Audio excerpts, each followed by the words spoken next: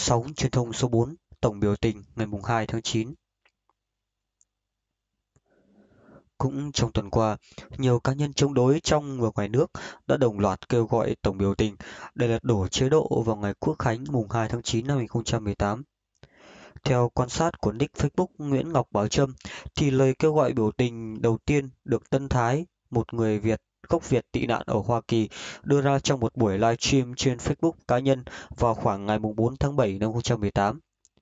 Ngay trong buổi livestream của Thái, nick Facebook Benny Trương comment rằng nên viết lời kêu gọi biểu tình vào các tờ tiền lẻ, dùng tiền lẻ để làm truyền đơn dễ lan truyền hơn. Kể từ thời điểm đó, một số nick Facebook cờ vàng như Tân Thái, Benny Chiang, David Lê liên tục quay clip livestream và viết status kêu gọi tổng biểu tình lật đổ chế độ vào ngày 2 tháng 9. Sư Thích Thông Lai của chùa Tầm Nguyên, một người gốc Việt tị nạn khác, cũng giữ vai trò quan trọng trong việc lan truyền lời kêu gọi tổng biểu tình.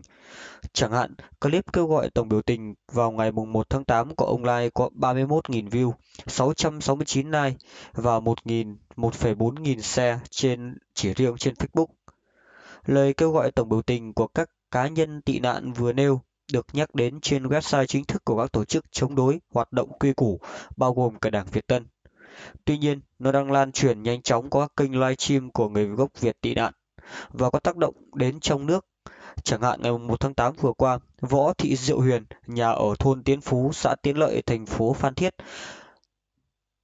tỉnh Bình Thuận đã bị bắt quả tang khi đang gửi đi các giấy tờ tiền có dòng chữ mùng 2 tháng 9 2018 tổng biểu tình ở ngân hàng.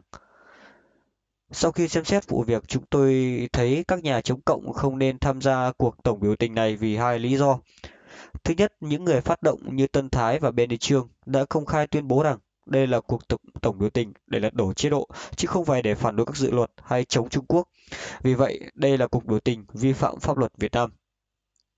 Thứ hai, những người đang kêu gọi tổng biểu tình hoặc không ngại nói dối hoặc có dấu hiệu hoang tưởng chính trị nặng. Chẳng hạn ngày 30 tháng 7 vừa qua, Sư Thích Thông Lai thông báo rằng chỉ sau 8 ngày, bản kiến nghị yêu cầu Mỹ giải thể chế độ Cộng, Cộng sản Việt Nam mà ông soạn đã thu được một triệu chữ ký.